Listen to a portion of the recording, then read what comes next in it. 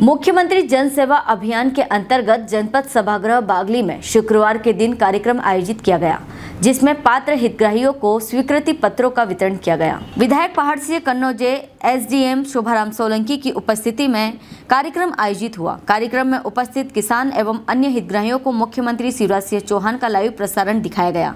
साथ ही कार्यक्रम के बारे में जानकारी दी गई। कार्यक्रम के माध्यम से मुख्यमंत्री जन सेवा अभियान के अंतर्गत पात्र हितग्राहियों को स्वीकृति पत्रों का वितरण किया गया। साथ ही मुख्यमंत्री किसान कल्याण योजना के अंतर्गत पात्र किसानों के खातों में ऑनलाइन राशि डाली गई। बागली से रवि पाटीदार की रिपोर्ट। आज हितग्राहियों के लाभ के लिए जो समूह की भाइयों को लगभग दो समूह को अलग अलग लाभ दिया गया जो दो लाख चौरानवे हज़ार का एक अलग समूह को दिया और डेढ़ लाख का लाभ एक अलग समूह को दिया।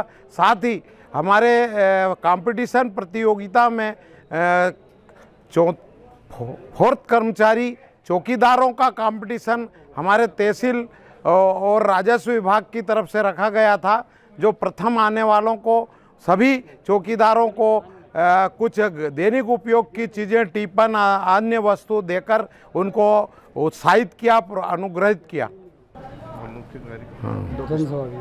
मुख्यमंत्री जनसेवा अभियान हेलो फ्रेंड्स आप देख रहे हैं हमारा channel S W twenty four news हमारे सारे वीडियो सबसे पहले देखने के लिए आप हमारे चैनल को सब्सक्राइब करें और पास में लगे बेल आइकन को दबाना बिल्कुल भी ना भूलें।